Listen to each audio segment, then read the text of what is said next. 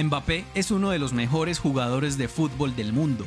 ¿Sabías que le dicen que se parece a una tortuga ninja? Al jugador francés le dicen Donatello y Miguel Ángel por su parecido físico con una tortuga ninja, especialmente con la versión de Miguel Ángel en la película de 2014 dirigida por Michael Bay. El apodo de Mbappé se hizo famoso en 2017 cuando sus compañeros del PSG le hicieron una broma en el camerino le dejaron una caja que tenía la marca Dior, pero por dentro tenía una máscara de Miguel Ángel. Mbappé lo tomó de buena manera, tanto que él mismo se ríe de que le digan que se parece a una tortuga ninja. El autor de la broma fue el futbolista brasilero Thiago Silva. Su apodo es tan famoso que en 2017 dos fanáticos del PSG se metieron a la cancha en medio de un partido para celebrar un gol del equipo, disfrazados de tortugas ninja. Y para ti, ¿a cuál de las tortugas ninja se te parece más Mbappé?